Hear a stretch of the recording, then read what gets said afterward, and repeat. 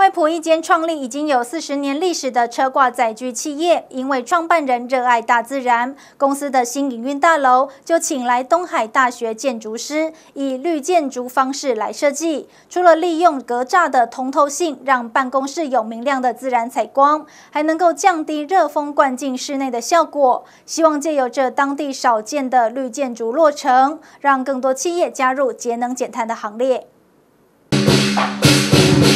精彩的舞龙舞狮演出替活动炒热气氛。紧接着，众人手持金剑，一同宣布新营运大楼与厂房正式落成启用。外埔这间成立已有四十年的车挂载具企业，因为创办人热爱大自然，舍弃豪华气派外观，选择打造流线造型的绿建筑大楼。公司的使命是追求卓越，以人为本，最全方位的这个户外休闲活动。那环保爱地球，基于这个理念呢，所以呢，我的新建筑呢，一定是要一个以我们的自行车载具作为理念，然后发想以廊道格栅，让里外是可以对流的，是可以 convection 的。秉持着台湾中小企业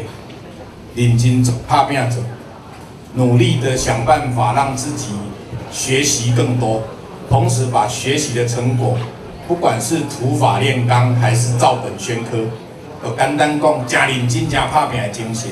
从制成的改善、产品的制造，一直到啊要行销全世界，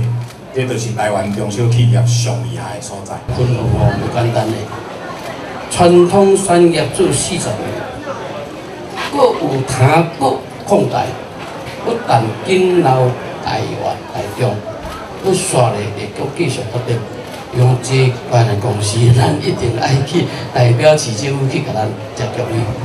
各式车挂载具并列展示，除了可以在自行车、冲浪板，也可以搭载露营用具。也因为商品多与户外体验有关，大楼的设计也格外活泼。不但利用格栅让阳光能够自然投入室内，布幕一掀开，阳台步道还能够种植香草，贯彻与自然对话、与环境共生的理念。因为我们一般家里面的窗户都是小小的，可是在这边的窗户是很大的，而且大量的绿化跟透明的建筑，让你觉得那种光线跟透度是很舒适。